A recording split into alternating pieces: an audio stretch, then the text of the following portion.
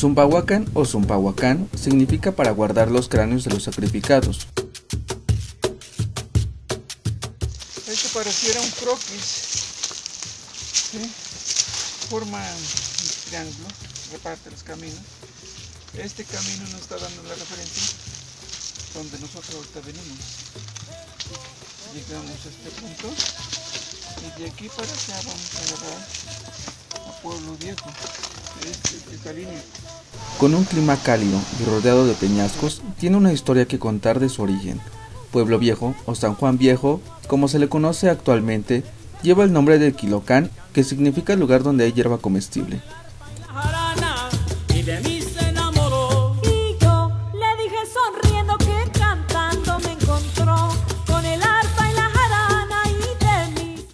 Para llegar allí es necesario pedir permiso a las autoridades y al rey Costales, un místico ser que permite el paso hacia donde transitó rumbo al puente de piedra de acuerdo con las versiones de los abuelos y las creencias náhuatl. Este es un antecedente para decir que Zumpahuacán el Viejo, pues ya es de la prehistoria porque tenemos pintura rupestre. Es el tiempo de las cavernas cuando sus, sí, sus habitaciones eran las cuevas y dejaban referencias donde habitaban y, y sus simbolismos, cómo se manejaban ellos. Esas pinturas rupestres son las que vamos a encontrar en gran parte como se habla de los códices. Algunos códices como el mendocino, florentino y otros más. Estos puntos nos están indicando a lo mejor la cantidad de gente que habitaba En esa cueva. o la peregrinación que pasó de este lado cuando vino venía Cuauhtémoc con su gente y aquí se defendieron de la lluvia o descansaron. Rumbo a Pueblo Viejo, en una de las barrancas se puede apreciar una pintura rupestre que da registro de los primeros pobladores de Zumpahuacán.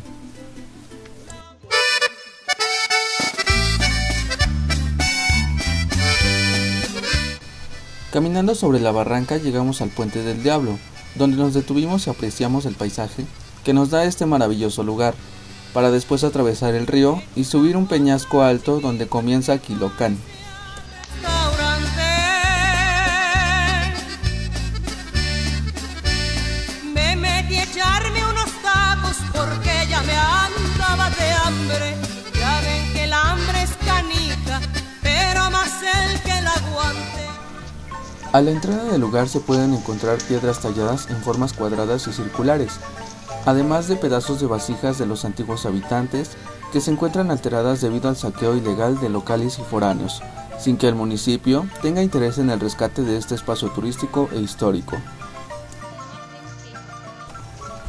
Durante la travesía del lugar se pudo encontrar la primera parroquia de Quilocán, que a pesar de estar en ruinas, aún se cuenta con la leyenda de la campana del lugar, donde el espacio físico se empalma con la leyenda y deja en evidencias físicas dichas historias.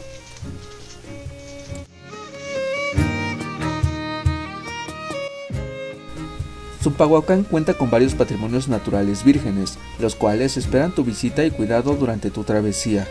Pueblo Viejo es solo uno de estos lugares que podemos encontrar al sur de la entidad mexiquense y que forman parte de la ruta de los antiguos mexicas desde la Gran Tenochtitlan.